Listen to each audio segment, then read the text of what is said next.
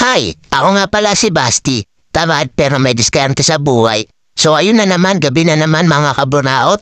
At ayan na, dumidilim na may in-order kasi akong Mango Graham Sky. Secret, basta yun na yun, siya na yung in-orderan ko. Tapos, yan, gabi na, gutom na ako. Pero gutom na ako kaya nag-exercise muna ako dyan kasi ay, Iintayin ko siya kakatapos ko ng para matulog tapos kanina bago matulog nilinis ko yung electric fan. Ang dami na kasing dumi na parang ikaw ang dumi-dumi mo habang waiting pa tayo. Ayan, tulala ang hayop. At ayun, bumaba na ako at nandyan na daw siya sa meet-up namin. Ewan ko sino magde-deliver pero ayun, lalaki yung nag-deliver, babae yung kausap ko, iba talaga sa online. So ganun talaga, wala naman tayong pakialam doon. Ayun, napakasarap naman yan. Dahil nga, ang tagal ko lang hindi nakakakain ng mga ganito, yung mga parang pang dessert to eh.